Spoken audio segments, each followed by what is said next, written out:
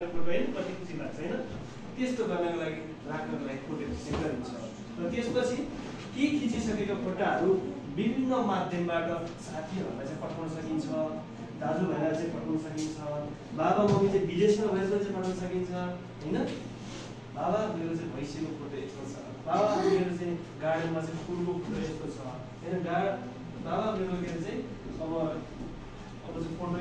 यो खालको छ होइन भनेर बाबा म त के भन्छ देशलाई टिकट लगाएँ होइन भन्नको लागि विभिन्न माध्यमबाट पठाउन सकिन्छ त्यस्ता माध्यमहरू तिमीहरूलाई थाहा छ फेसबुक थाहा छ भाइबर थाहा छ इमो थाहा छ मेसेन्जर थाहा छ जिमेल थाहा छ त्यस्तो माध्यमबाट विभिन्न तरिकाबाट साथीहरूलाई पनि लागि सकिन्छ र त्यस्तो फोटाहरू खिच्नको लागि